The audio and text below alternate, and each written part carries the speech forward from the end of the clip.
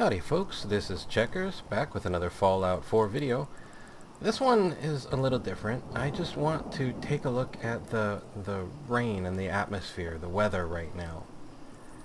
I am walking along someplace I've never been in a suit of stolen power armor and there's rain coming down.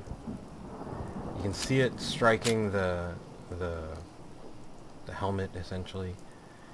You can see it in the sheen on the rifle.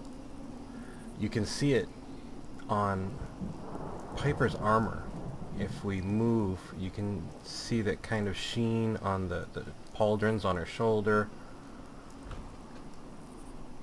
Of course, you know, she turns with us, but you can still see it's there. That shine, you know, the coating on the ground. the thunder rumbling in the background. Just this mysterious world all around us, but also just listening to the rain. It's uh it's very immersive. It's it's beautiful. It's it's it's what it is. Lighthouse in the distance.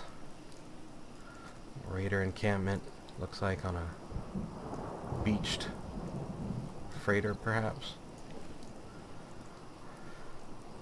The city off in the distance. And just the rain and the wind, the sea and the shore. I know it's it's no how-to or or let's play or anything really, but it's just a moment of appreciation for the weather and the rain in Fallout 4. Alrighty folks, this has been Checkers, back with another Fallout 4 video. I hope you found it a little entertaining.